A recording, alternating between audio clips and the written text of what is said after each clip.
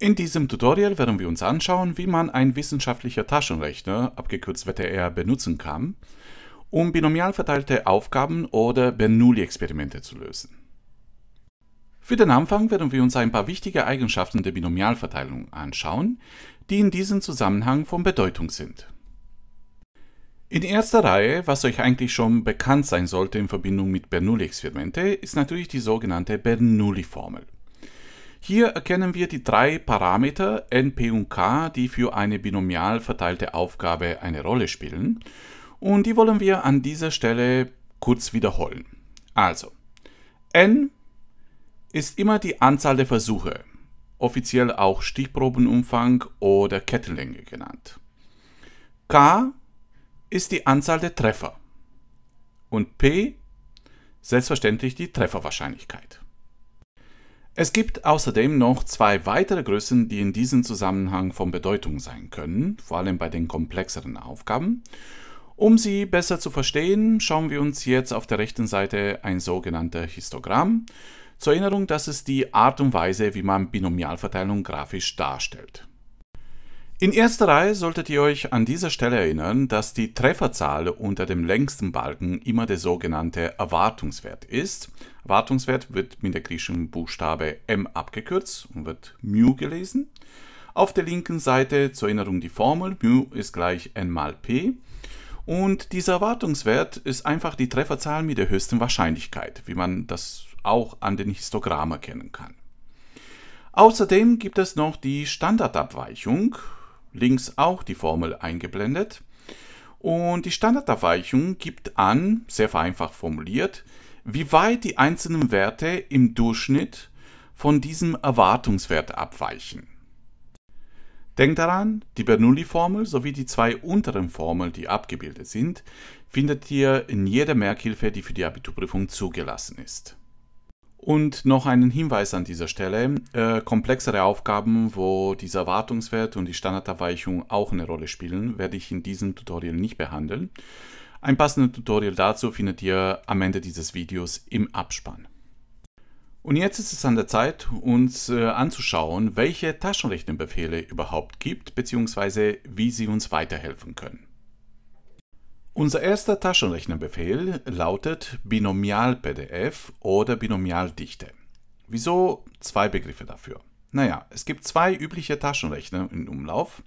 Einmal von Texas, da heißt dieser Befehl Binomial-PDF oder manchmal auch Binomial-PD. Und einer von Casio, da heißt das gleiche Befehl Binomialdichte. Dieser Befehl liefert die Wahrscheinlichkeit für eine genaue Anzahl von Treffer. Auf der rechten Seite versuchen wir uns das besser vorzustellen anhand eines Histogramms. Wenn ihr zum Beispiel die Wahrscheinlichkeit ausrechnen wollt, dass ihr genau zwei Treffer habt, dann könnt ihr natürlich diesen Befehl nutzen. Entsprechend die passenden Werte für n, p und k äh, eingeben und damit habt ihr die Wahrscheinlichkeit. Und vielleicht ist euch schon aufgefallen, dass ihr dadurch eigentlich eine Bernoulli-Formel ausrechnet. Und genau das ist die Bedeutung dieses Befehls. Es ist eine sehr schnelle und einfache Möglichkeit, um eine Bernoulli-Formel auszurechnen.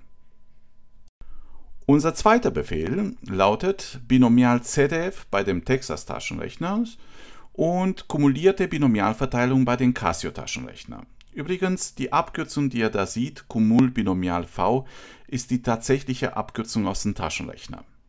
Naja, zugegeben, ein gewisser Programmierer bei dem Casio-Taschenrechner hat sich nicht wirklich viel Mühe gegeben. Aber wenn man es ein paar Mal anwendet, dann findet man sich damit ab mit dieser Abkürzung. Okay, jetzt. Dieser Befehl ist in der Lage, die Wahrscheinlichkeit für mehrere Trefferzahlen zu bestimmen, angefangen mit 0. Um das besser zu verstehen, schauen wir uns wieder ein Histogramm an. Also, wir nehmen an, wir wollen jetzt die Gesamtwahrscheinlichkeit für die Trefferzahlen 0, 1 und 2 bestimmen.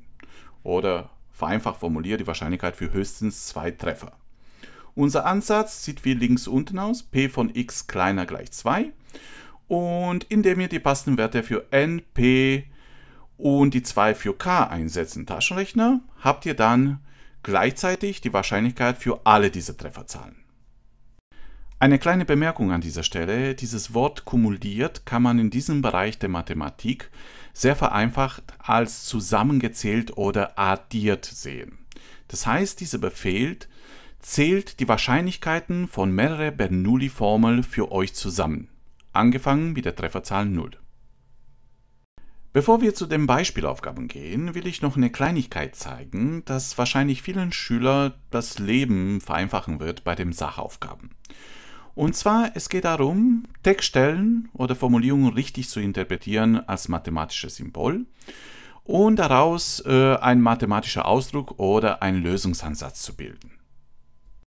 Die erste und wahrscheinlich einfachste Formulierung wäre eine genaue Anzahl von Treffer zu bestimmen. Passendes Symbol dafür wäre natürlich das Gleichzeichen und der mathematische Ausdruck lautet P von x gleich k.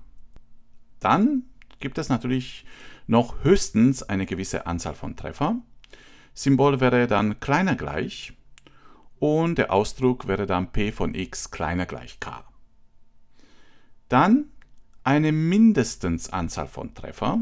Mindestens wird übersetzt mit größer gleich und passender Ansatz natürlich p von x größer gleich k.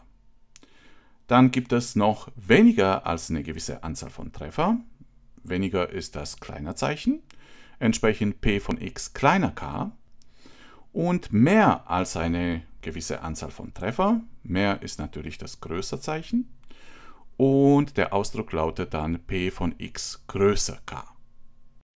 Für den Fall, dass ihr Schwierigkeiten habt, diesen fünf Schlüsselwörter im passenden mathematischen Symbol zuzuordnen, hilft euch diese kleine Zusammenfassung, den Überblick zu behalten. Und noch eine kleine Bemerkung an dieser Stelle. Wie wir vorher gesehen haben, kann der Taschenrechner eigentlich nur zwei Befehle ausführen. Einmal das hier fürs Gleichzeichen und einmal das für höchstens oder kleiner gleich. Das heißt für uns, alle anderen Zeichen müssen in höchstens umgeformt werden. Und genau das wird unsere Beschäftigung bei den Beispielaufgaben sein. Und jetzt sind wir endlich bei unserer Beispielaufgabe. Ich überfliege kurz die Aufgabenstellung. Ein Blumenhändler gibt für seine Blumenzwiebeln eine 80-prozentige Keimgarantie. Jemand kauft eine Packung mit 8 Zwiebeln, mit welcher Wahrscheinlichkeit keimen Teilaufgabe A genau 6 und Teilaufgabe B höchstens 6 Zwiebeln. Für den Fall, dass euch das zu schnell ging, bitte drückt auf Pause und liest euch in Ruhe die Aufgabenstellung durch. Für den Anfang ist es natürlich wichtig herauszufinden, was N, P und K sind in der Aufgabenstellung. N und P findet ihr meistens und auch hier ganz oben in der Aufgabenstellung. Also bei Überfliegen sollte euch aufgefallen sein, dass in der Packung 8 Zwiebeln sind. Das wäre dann unser N. Und die Wahrscheinlichkeit, dass so eine Blumenzwiebel keimt, liegt bei 80%. Das bedeutet, diese 80% oder 0,8 sind unsere Trefferwahrscheinlichkeit klein p. Das Ganze muss dann auch entsprechend richtig verpackt werden. Das heißt, die Zufallsvariable x muss unbedingt deklariert werden. Und in diesem Fall ist x binomial verteilt mit n gleich 8 und p gleich 0,8. Alternativ hier hinten, wenn ihr diese Schreibweise kennt, könnt ihr sie natürlich auch benutzen im Unterricht. Und x ist dann entsprechend die Anzahl der keimenden Blumenzwiebeln. Die Trefferzahl k findet man meistens in der Fragestellung, so auch hier. Also es sollen bei der ersten Teilaufgabe genau 6 Blumenzwiebeln keimen. Das bedeutet, diese 6 hier, das ist unser k.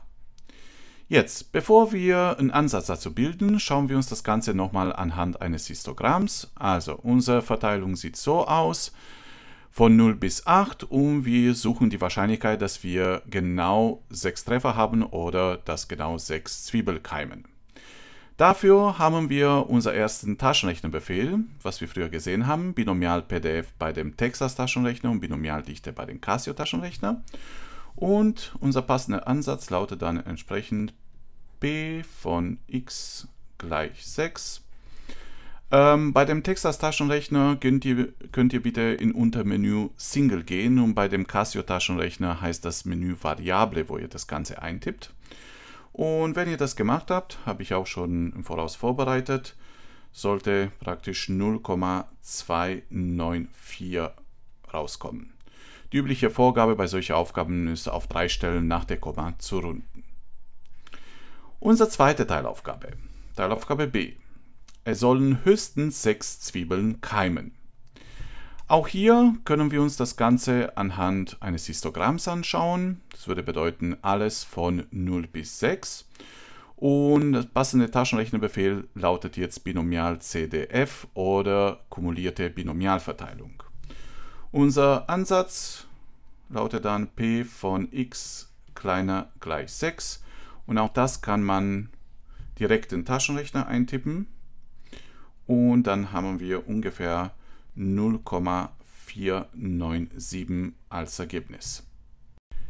Die ersten zwei Teilaufgaben A und B waren so die Standardsachen, die auch der Taschenrechner kann. Das bedeutet, ab hier wird es ein bisschen interessanter. Also die Aufgabenstellung habe ich oben beibehalten, aber die Fragestellungen haben sich geändert. Teilaufgabe C, wir brauchen die Wahrscheinlichkeit, dass weniger als 5 Zwiebel keimen. Okay, schreiben können wir das Ganze so. P von x kleiner 5, das bedeutet weniger als 5.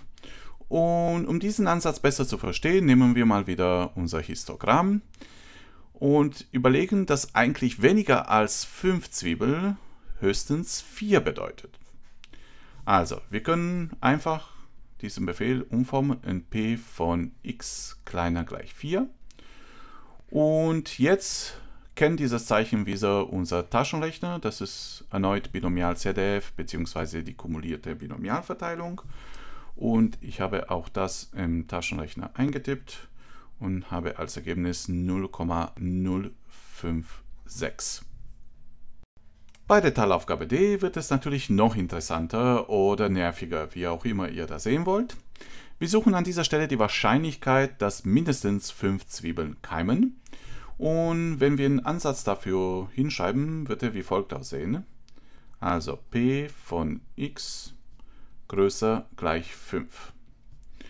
Gut, auch das versuchen wir uns zuerst an diesem Histogramm anzuschauen. Also das ist unsere Verteilung und die Wahrscheinlichkeit für mindestens 5 seht ihr hier eingeblendet. Das Problem, was wir haben, ist die Tatsache, dass der Taschenrechner nicht von 5 bis 8 die Bernoulli-Formel zusammenzählen kann, sondern nur von 0 auf bis zu einer gewissen Trefferzahl. Deshalb müssen wir ihn ein bisschen austricksen. Und zwar, Solltet ihr euch erinnern, dass die Gesamtwahrscheinlichkeit immer 1 oder 100% beträgt. Wenn wir von dieser 1 dann den Bereich abziehen, was wir nicht brauchen, das ist der Bereich in diesem Fall von 0 bis 4, dann haben wir genau die gesuchte Wahrscheinlichkeit, die übrig bleibt. Also dieser Bereich von 0 bis 4 kann man auch abkürzen mit p von x kleiner gleich 4. Deshalb lautet jetzt die Umformung an dieser Stelle 1 minus p von x kleiner gleich 4. Und das kann man auch jetzt problemlos mit dem Taschenrechner ausrechnen. Für p von x kleiner gleich 4 nehmen wir natürlich wieder unser Binomial ZDF oder kumuliert. Und das habe ich auch schon im Taschenrechner ausgerechnet. Also zuerst das hier hinten ausrechnen und dann 1 minus das Ergebnis rechnen. Dabei kommt 0,944 raus. Ich werde jetzt an dieser Stelle noch eine kleine Teilaufgabe E hier einfügen, weil die Umformung sehr ähnlich ist mit der Teilaufgabe D. Also wir suchen die Wahrscheinlichkeit, dass mehr als vier Zwiebeln keimen. Ähm, ansatzweise können wir das Ganze so schreiben, p von x größer 4.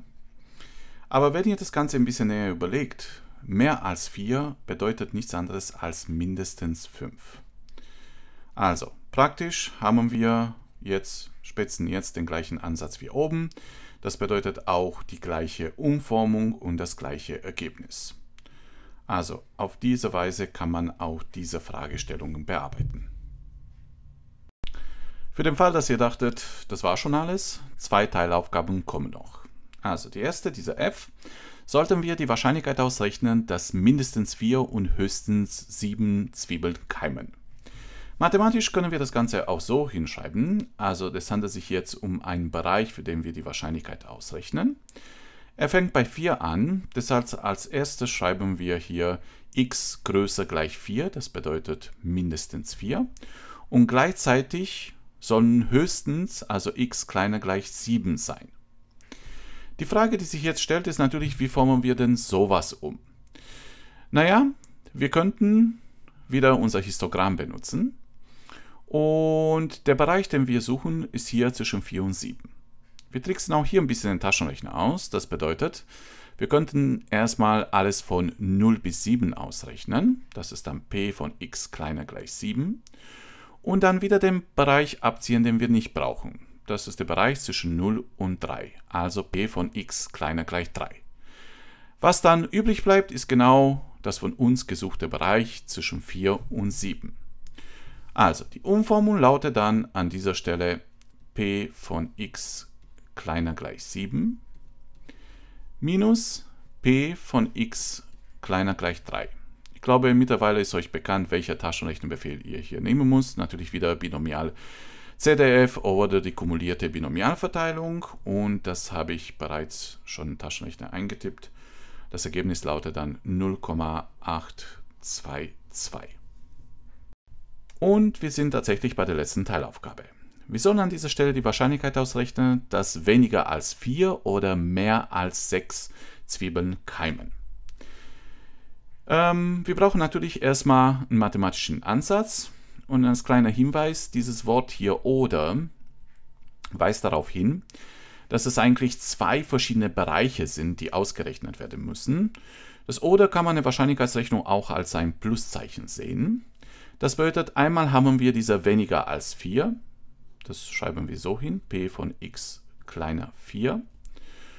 Und dann haben wir noch den Bereich, wo wir mehr als 6 haben. Das ist p von x und dann größer 6. Das ist mehr als 6. Gut, wenn wir uns das Ganze jetzt an, an Histogramm wieder anschauen, dann sieht das Ganze wie folgt aus. Also das sind die zwei Bereiche, die uns interessieren. Weniger als 4 bedeutet übersetzt höchstens 3 Treffer. Also die linke Seite wäre dann p von x kleiner gleich 3. Und die rechte Seite, mehr als 6, bedeutet mindestens 7 Treffer. Das ist dann p von x größer gleich 7. An dieser Stelle gibt es gute und weniger gute Nachrichten. Erste gute Nachricht ist, p von x kleiner gleich 3 kennt der Taschenrechner. Das ist diese Binomial-ZDF oder kumulierte Binomialverteilung Geschichte. Auf der rechten Seite müssen wir noch ein bisschen umformen. Und deshalb übernehme ich die linke Seite unverändert. Und bei der rechten Seite benutzen wir die Umformung von der Teilaufgabe D. Das war die mit dem Gegenereignis. Also plus 1 minus p von x kleiner gleich 6. Jede einzelne Wahrscheinlichkeit kann man getrennt in Taschenrechner eintippen, am Ende wieder alles auf einmal.